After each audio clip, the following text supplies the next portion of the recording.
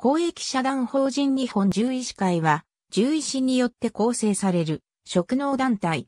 獣医療に関する啓蒙、啓発活動や獣医師の利益を守るための社会的活動などを行っている。獣医師の加盟は任意である。内閣府主導で行っている国家戦略特別区域、諮問会議における岩盤規制改革に強く反対し続け、獣医学部の新設が次々と認可されるような事態は何としてでも阻止しなければなりませんと主張し、地方の同会会長へ獣医学部新設に関わる反論の提出を求める旨を通達している。日本経済新聞と産経新聞は日本獣医師会が獣医学部の新設に反対するロビー活動を行っていると報じている。産経新聞によると、京都産業大学に獣医学部新設の動きがあることを知り、計画阻止のために現職大臣らに激しいロビー活動を行っていたとされ、2017年1月30日発行のメールマガジンにおいて粘り強い要請活動が実り、関係大臣のご理解を得て、なんとか一向限りと修正されたと所属会員に報告している。日本経済新聞によると、同会の主張への配慮がなされたために、まず一大学という前提で、岡山理科大学への新設が検討されたと報じられている。国家戦略特区、ワーキンググループ座長で、アジア成長研究所所長の八田達夫は、座長の職務により、日本獣医師会の政治力の凄まじさを思い知ったと述べている。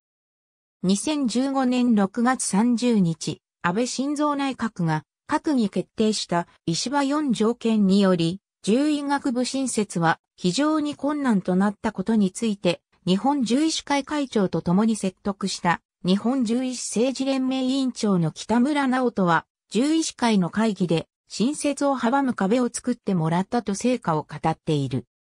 産経新聞によると、日本獣医師会は、京都産業大学に獣医学部新設の計画を阻止するため、地方創生担当省の山本幸三、文科省の松野博一、農水省の山本裕二、副総理兼財務省の麻生太郎、元法省の森英介ら大臣らに激しいロビー活動を行っていたとされる。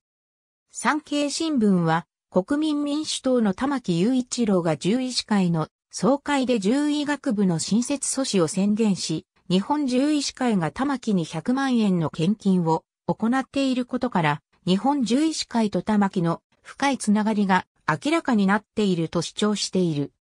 産経新聞によると、日本獣医師会会長の倉、内勲と日本獣医師政治連盟委員長の北村直人は、獣医学部の新設を阻むために、国家戦略特別区域の担当である地方、創生担当大臣の石破茂に働きかけ、日本獣医師会の強い意向により、石破4条件が盛り込まれたため、獣医学部新設が極めて困難となったとしている。